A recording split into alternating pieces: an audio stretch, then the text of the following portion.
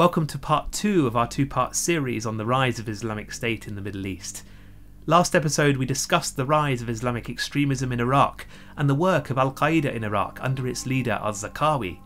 Zarqawi's brutal use of violence in jihad was to play an instrumental role in the development of so called Islamic State. Al Zarqawi was killed in an American bomb attack in 2006, and today on the History Chronicles, we will pick up on the story of what happened after him. So let's examine the rise of ISIS.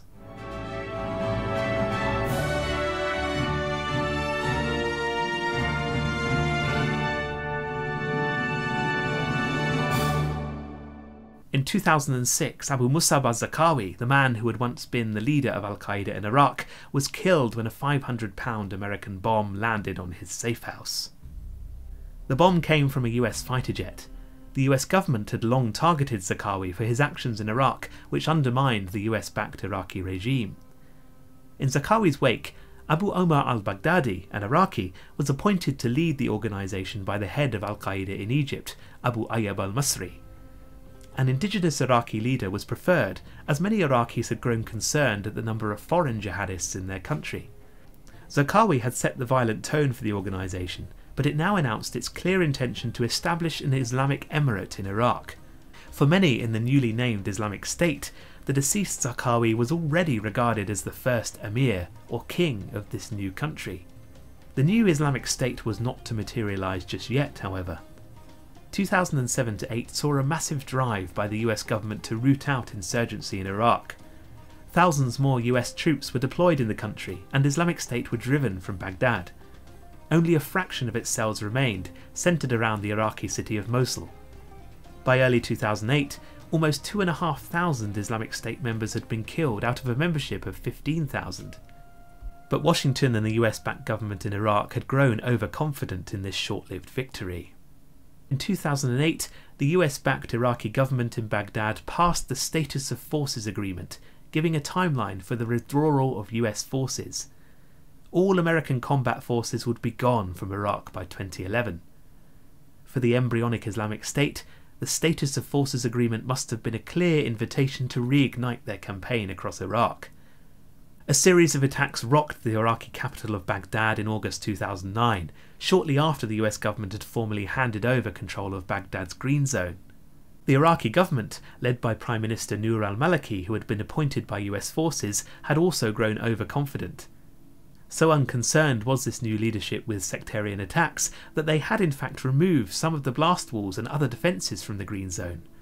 Two large truck bombs hit the ministries of foreign affairs and finance there, killing 122 people. It is arguable that Prime Minister al Maliki himself exacerbated the backlash against his government that was to come. Al Maliki began to govern in an increasingly autocratic fashion, inviting comparisons among his people to the deceased Saddam Hussein. His policies sought out and persecuted those who had been involved in Saddam Hussein's regime, making him even more enemies, $100 billion given to Iraq by the USA in aid appeared to make little difference under a regime that displayed a clear lack of accountability and corruption. In this vacuum of chaos, the Islamic State of Iraq had a renewed base of support and reignited their campaign of violence across the country. The Americans' final withdrawal from Iraq in 2011 appeared to seal the deal. In 2012, the number of Iraqi citizens that died from violent deaths reached over 4,000, in 2013, this had doubled to almost 8,000. The sectarians whom Saddam Hussein had kept violently under control now dominated the country. The Iraqi government under al Maliki indeed tried to oppose the rise in extremism, but lacking US military support, this only served to make al Maliki more enemies. To make things worse, al Maliki was a member of the Shia community, the very group that those involved in Islamic State had targeted from its inception. A group of Sunni protesters against the government in the town of Hawija were brutally suppressed by the Iraqi Shia led government in 2013, only for Islamic State to overrun the town the following year with the help of local, now sympathetic tribesmen. Events outside of Iraq now also began to work in favour of Islamic State. Osama bin Laden was found and killed in an American raid in May 2011. He was replaced as a leader of Al Qaeda by the less charismatic al Zawahiri. By now, however, the preaching of bin Laden, generally opposing Israel and promoting the Palestinian cause, seemed far less relevant. global news was now attending to the Arab Spring, a series of protests across the Arab world that challenged the power of a generation of dictators, predominantly in Tunisia, Egypt, and Syria. It is interesting that bin Laden and Zawahiri had almost nothing to say on these uprisings. Even the fall of President Hosni Mubarak in Egypt provoked no immediate reaction from the leaders of Al Qaeda. In contrast, the Islamic State of Iraq wasted no time in criticising the secular nature of these uprisings, warning against the so called un Islamic ideologies that could replace toppled regimes. Also by 2011, the leadership of Islamic State had changed again. Following the death of Abu Omar al Baghdadi to an American rocket, a retiring religious scholar, also an Iraqi, took over the organisation of the Islamic State of Iraq. This man was Abu Bakr al Baghdadi. According to interview reports, Abu Bakr al Baghdadi came across with a charismatic but also menacing personality, someone whose name would soon become synonymous with the brutal methods of Islamic State. He had faced internment by US forces in Camp Bucca in Iraq for two years from 2004 to 6. Upon his release, he informed the American guards on the gate that he would be seeing them again, either here or in New York. In 2006, Abu Bakr al Baghdadi joined the Islamic State of Iraq and quickly became known for his ability to organise and deploy jihadists on the battlefield. He was confrontational with his forces, but also not afraid to retreat if conditions were not beneficial. As a result, he was popular among the leadership of Islamic State, and, upon the death of Omar al Baghdadi, only two members of the leading council did not approve Abu Bakr al Baghdadi's elevation to be the new emir. Al Baghdadi was also one to harbour a grudge. One of the men that voted against him was murdered shortly afterwards. Just as al Baghdadi became the new leader or emir of Islamic State, events in Syria would also take a turn for the worse protest against the Syrian dictator Bashar al Assad was met with force by the Syrian regime, leading to the outbreak of a full blown rebellion in the country. This rebellion included secular elements, but also featured large numbers of religious extremists who sought to carve their own interests into the Syrian future. Al Qaeda announced its arrival into the Syrian conflict with two suicide bombings in Damascus in 2011. Al Qaeda's head, al Zawahiri, followed this up by posting a video online that encouraged jihadists from neighbouring Turkey, Jordan, Lebanon, and Iraq to join in the fight. Several religious factions emerged as groups that fought against the Syrian regime. Many fighters turned to religious extremism and away from the secular alternative, the Free Syrian Army.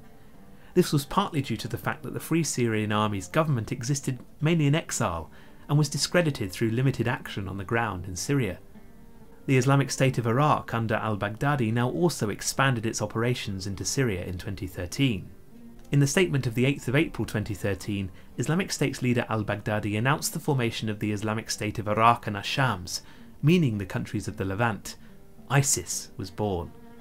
This announcement also marked a formal break in relations with some of the other extremist factions of Islam, in particular the largest Islamic extremist group, Al Qaeda. Al Qaeda's leader, al Zawahiri, had ordered that al Baghdadi restrict his operations to Iraq. Instead, al Baghdadi's fighters simply expelled those sympathetic to al Zawahiri in the east of Syria, killing hundreds of their opponents and thousands of civilians in the process. As a result, al Baghdadi gained control of the rich oil fields of eastern Syria, giving him the financial resources to not rely solely on wealthy Arab donors from abroad. By the beginning of 2014, Al Qaeda formally broke its relations with the so called Islamic State. But more controversy was to come. At the beginning of Ramadan in 2014, al Baghdadi announced from the Grand Mosque of Mosul that he was now Caliph, in other words, the supreme leader of the Sunni Muslim community. Why was this controversial? Well, another Caliph already existed who was recognized by al Qaeda. This was Mullah Omar, the founder of the Taliban in Pakistan. On the ground in Syria and Iraq, however, al Baghdadi's announcement must have appeared to be far more grounded in reality. At the time of the announcement, the Islamic State of Iraq and the Levant controlled one third of Syria and 40% of Iraq. In the same year, an ISIS media outlet had released a slick video entitled The End of Sykes-Picot, a rallying cry that challenged the boundary between Iraq and Syria established by the British and French in 1916 and such videos as these were just one component of al Baghdadi's campaign for attention from the world's media. ISIS used social media platforms to spread footage of the extreme violence prosecuted by their soldiers. Hundreds of images and videos of beheadings, massacres, and public executions were spread online.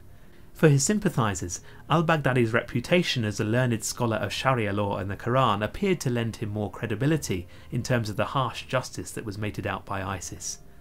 It is clear that, by 2013, al Baghdadi had won many admirers across the Muslim world. Polls conducted in Saudi Arabia in this period suggest that 92% of Saudis approved of him.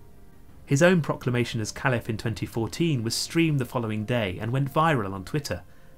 Unlike Osama bin Laden, al Baghdadi eschewed set pieces that were regularly put out on standard media platforms. Instead, he appeared in broadcasts only infrequently, his proclamation as Caliph being a rare appearance. This served to only add to his mystique as ISIS's leader. Al Baghdadi also led ISIS to gain significant military successes. In 2013, an assault on Abu Ghraib prison near Baghdad was a spectacular coup in the face of the Iraqi government. This was the prison where key jihadists and member of Al Qaeda's leadership were held, and was also the location where American soldiers were filmed abusing captured Iraqis. ISIS's prison break here saw the release of 500 jihadists, many of whom immediately filled the ranks of ISIS. In another move, ISIS fought the Syrian government for control of Menagh air base to the northwest of Aleppo, also in 2013. This was to prevent the Syrian Air Force from dropping barrel bombs on not just ISIS soldiers, but also the citizens of Aleppo, gaining the movement more sympathy. At the same time, in September 2013, ISIS captured the town of Azaz from the Free Syrian Army. This was a key transit point for foreign fighters from Turkey into Syria and would aid the steady flow of jihadists into the ranks of ISIS's growing army. As ISIS continued to make similar land grabs in 2013, taking much of Anbar province and the city of Fallujah, its danger continued to be overlooked by the US regime. In Mosul, ISIS fighters even reported surprise at the ease with which they took the city from Iraqi government soldiers. ISIS men were to use the capture of Mosul to loot its bank for half a billion dollars and then hold 48 staff at the Turkish embassy hostage. ISIS's control of the city resulted in an exodus of half a million of its population, which included a large Christian minority. Through the year 2014, ISIS continued to sweep through Iraq. It captured Iraq's largest oil refinery in June of that year, gaining 400 defecting Iraqi soldiers in this campaign. Later that month, Saddam Hussein's former chemical weapons facility also fell to ISIS, giving credits to later reports that ISIS soldiers employed chlorine gas in their attacks. As they advanced, captured Iraqi soldiers were publicly beheaded by ISIS, as were their more traditional enemies, the Shia. When ISIS soldiers captured Badush prison in Mosul, they held a mass execution of its Shia inmates, numbering 670 men. One and a half thousand Iraqi soldiers were executed in just three days as ISIS gained control of an Iraqi government military camp. In Syria, a division of the Syrian army was captured near Raqqa. Of these soldiers, many had their heads cut off and displayed on stakes.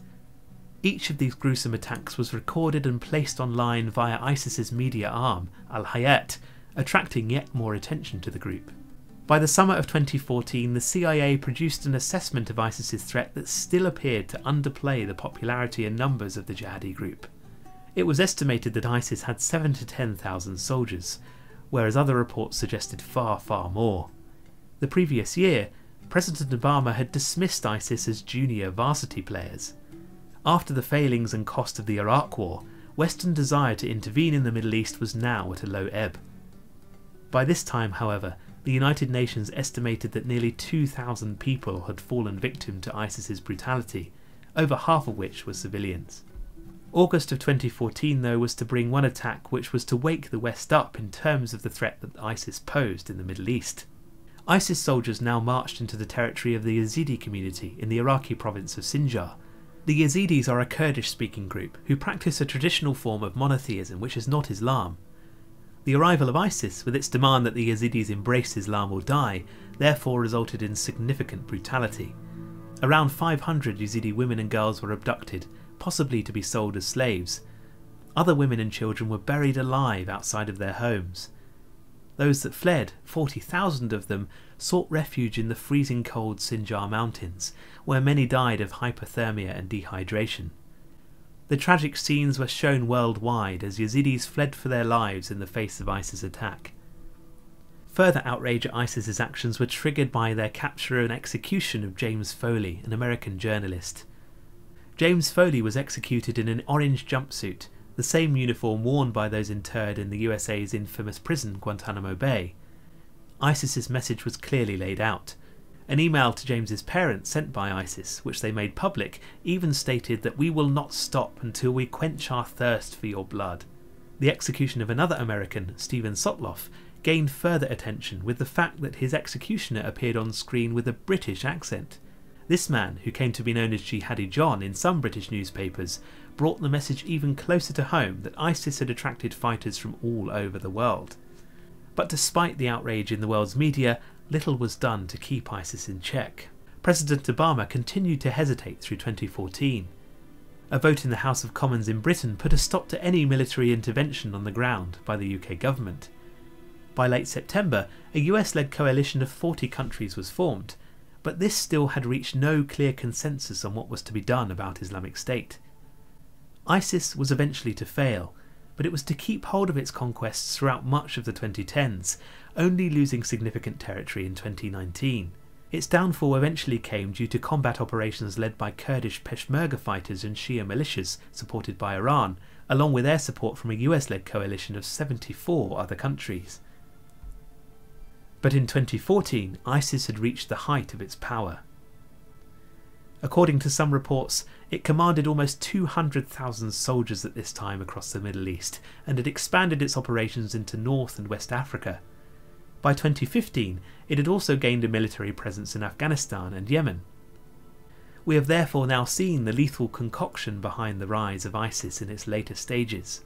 Western inaction, chaotic civil war in Syria and Iraq, al Baghdadi's leadership, and ISIS's methods of publicity, along with its brutal methods of violence, all gave rise to a movement that made rapid military gains and proved to be immensely popular as hundreds of foreign fighters flocked to join its ranks.